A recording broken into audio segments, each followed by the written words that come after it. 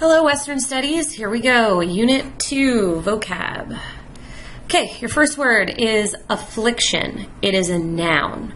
It means something causing pain or suffering. Synonyms, disorder, disease, malady. You could probably guess that this is a negatively toned word. Um, you usually have it used in conjunction with uh, an illness or a sickness you can have like an affliction of the body or an affliction of the mind. So remember in the homework, you have to come up with your own definition if you are doing um, uh, like the vocab square option. Okay, so the definition here is something that causes pain or suffering, but make sure you come up with your own definition for that. Uh, sentence a crippling affliction of the nervous system. He has a crippling affliction of the nervous system. Next word, adversary. It is a noun. The definition here is one's opponent in a contest, conflict, or dispute. Again, make sure you come up with your own definition for this if you are not doing option two or three on the vocab homework. Sentence Davis beat his old adversary in the quarterfinals. Tone here is very negative. You wouldn't want to be known as someone's adversary. It usually has to do with competitions, like your opponent. Next word, anathema. Anathema is a noun, something or someone that one vehemently dislikes. Um, it's like a look at the sentence.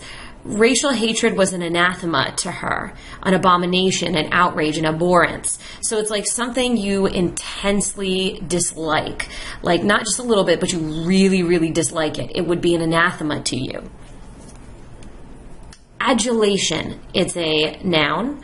Obsequious flattery, excessive admiration, or praise. Again, make sure you come up with your own definition for this. Uh, he found it difficult to cope with the adulation of his fans.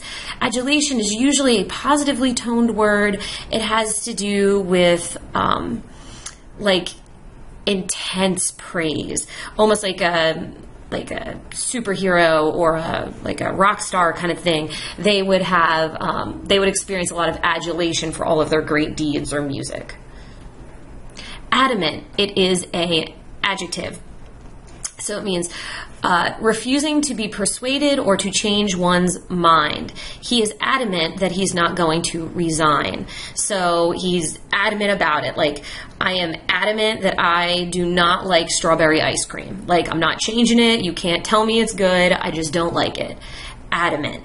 Um, this is kind of a neutrally toned word because it, it really carries no weight to it. It just means a strong belief in something and you're not going to change their mind. Solace, this is a noun. Comfort or consolation in a time of distress or sadness. She sought solace in her religion. So it's comfort in like a very strong period of sadness. Like um, after a death, you would search for some solace. You wouldn't search for solace after like a boring movie. Okay, does that make sense? So solace usually is something you look for some some happiness, some comfort after like a very long period of sadness or a very intense period of sadness. Reparation. This is a noun. It's a thing. It means the making of amends for a wrong one has done by paying money to or otherwise helping those who have been wronged.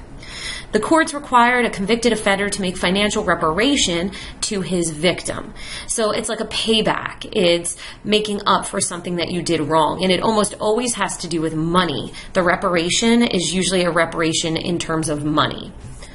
It doesn't always have to be, but usually reparation, if you're searching for it, it means you want money for a loss that you've um, incurred. Paragon, this is a noun. It's almost always a positive positive thing, a person or thing regarded as a perfect example or of a particular quality. It would have taken a paragon of virtue not to feel viciously jealous. So, a person or thing viewed as a model or excellence. It's like the perfect example of someone. Like, she's the paragon of dedicated, you know, cheerleader, for example. She's the paragon of the dedicated student. Again, it's the perfect example of something. Salient, this is an adjective. Most noticeable or important. This is a neutrally toned word. It succinctly covered all the salient points in the case. It most often has to do with um, ideas that are noticeable or important. Like you really wouldn't say like the salient house stood out in, on the road, you know, could because it was green. It's the salient ideas stood out in the case. The salient points stuck with her long after their conversation had ended. They are strong noticeable ideas most often. Um, this can also be a noun, as you see here, so just be aware of that. Um, and it usually has to do with jumping or leaping. Okay, so it comes in the form of an adjective or a noun. Pernicious. Pernicious is a very negatively toned word, having a harmful effect, especially in a gradual or subtle way, um, is an adjective. The pernicious influence of the mass media can eat away at a person's self esteem, for example. Um, pernicious is harmful, but like it says here, it's in a gradual, subtle way. It's like a slow, it's something that like slowly eats away at you. You'd consider it pernicious. Munificent, it's an adjective. It's a gift or sum of money larger or more generous than is usual or necessary. So, uh, she was surprised by the munificent gesture it's like a munificent gift or a munificent gesture or a munificent um, plans for the day. It's just like way over, way more giving than what you would have expected. If you would have expected it, it wouldn't be munificent. Okay, this is if it wasn't really expected.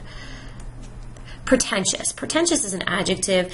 Um, I think most of you have probably heard this word before. It is definitely a negatively toned word. It usually has to do with people's behavior. People are normally known as pretentious. You wouldn't call like a dog pretentious. It means attempting to impress by giving great importance, talents, culture, etc. that is actually possessed. Like you, it's when a person kind of pretends they're better than they really are. And they're kind of like flaunting it that's what being pretentious is. It's like uh, a woman who wears way too much jewelry to try to pretend like she has a lot of money. It's a pretentious display of her wealth egregious. Egregious is an adjective. It means outstandingly bad or shocking. It's usually, and you can see here, egregious abuse of copyright. It's like way over what you would have expected. So an egregious error would get you fired.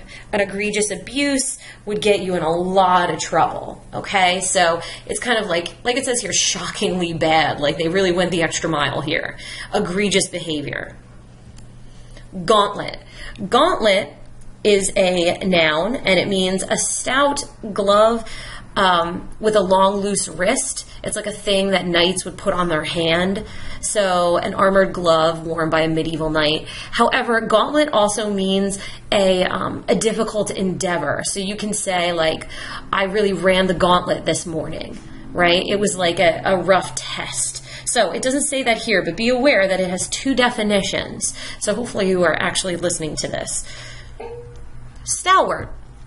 Uh, stalwart here, loyal, reliable, or hardworking. This is an adjective and a noun, so be aware of that. He remained a stalwart supporter of the cause, so reliable and hardworking. You could also use it as a noun. Somebody could be a stalwart, a loyal person. So hopefully you, your friends are stalwarts, and they display stalwart behavior.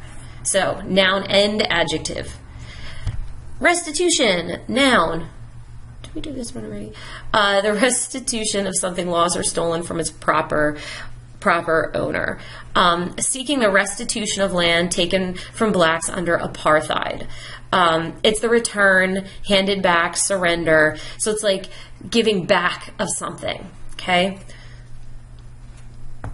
Unwieldy, it is an adjective, and it means difficult to carry or move because of its size, shape, or weight. The first mechanical clocks were large and unwieldy. So it's really big. It definitely when it comes to holding it or carrying it or moving it from one place or another, you would use unwieldy to describe it. You wouldn't call like, I don't know, a, a person unwieldy because you're not picking them up and moving them. Sepulchral, of or relating to a tomb or interment. Uh, absolutely a negatively toned word. It means gloomy, dismal. Okay, I think very um, like funeral, Halloween type of thing. Equitable, adjective. It means fair or impartial. It almost always has to do with law or judgment of some kind. Definitely a positively toned word. You would definitely want an equitable judge presiding over your murder case, which hopefully you won't ever have. and that is it. That is all. Um, make sure you do the homework, and um, I'll see you in class.